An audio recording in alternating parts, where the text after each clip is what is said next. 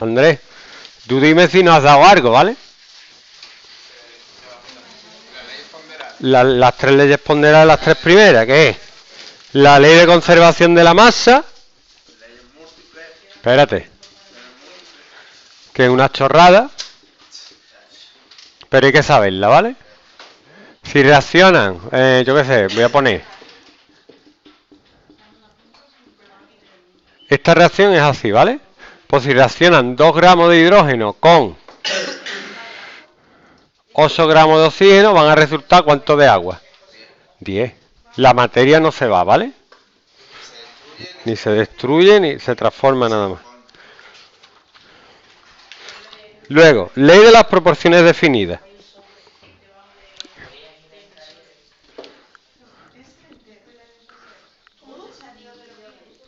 Os voy a poner un ejemplo de verdad, no cualquiera. Vamos a ver. Yo sé que en esta reacción, si yo escribo esta reacción, yo sumando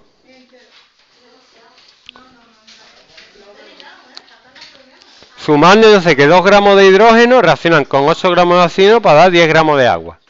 ¿Vale? Entonces, si yo tengo... ¿Habéis dado problemas de reactivo limitante? Si yo tengo un pone, me dan, me dan 6 gramos de hidrógeno y 20 de oxígeno. Habéis dado la tabla, es verdad, habéis dado limitante. Entonces tú de aquí tienes que sacar cuánto reacciona de cada uno. Lógicamente, de esto tendría que reaccionar cuatro veces más, ¿sí o no? Porque aquí es cuatro veces más. Lo lógico es que pusiera aquí 24, ¿vale? O que me den.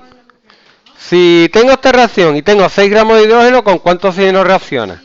Pues hago una regla de 3, si 2 gramos de hidrógeno con 8 gramos de oxígeno, ¿cómo? Regla de 3 no se puede hacer. Si tengo 2 gramos de oxígeno por, yo hago factor de conversión. No, si tengo 6 gramos de oxígeno por 8 gramos de oxígeno partí-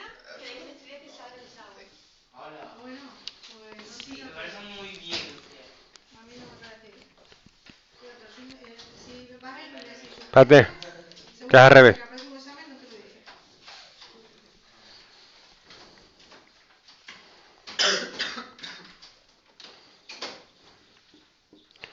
Y da 24 gramos de oxígeno. El- lo que a mí me asusta es que os ponga esto.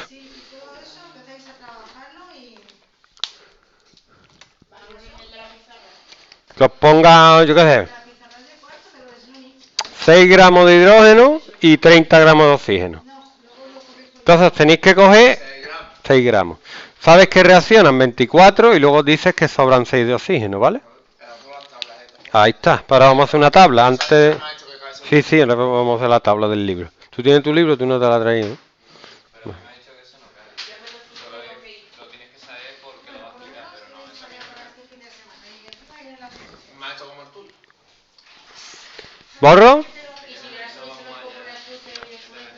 Pero lo he visto yo con Pedro, mi compañero de física y química. Toma misa, porque viene en la ley. O sea, tú como profe lo tienes que evaluar. Lo tienes que poner, como sea. Igual lo pone como parte de otro. Pero lo tiene que poner.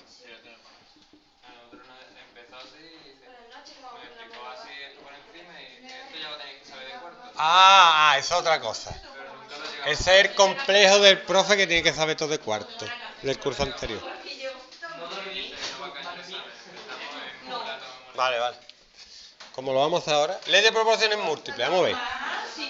Yo tengo dos reacciones.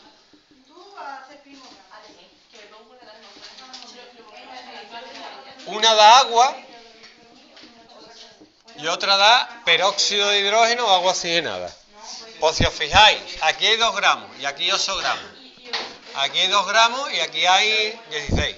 La relación de oxígeno que reacciona con la misma cantidad de hidrógeno, 8 entre 2, 16 y 2, 4, 8, 8 entre 4 da 2. Es una relación de número entero sencillo. ¿Estáis bien, no? Voy a hacer la tabla y luego empezamos con moles, moléculas y todo el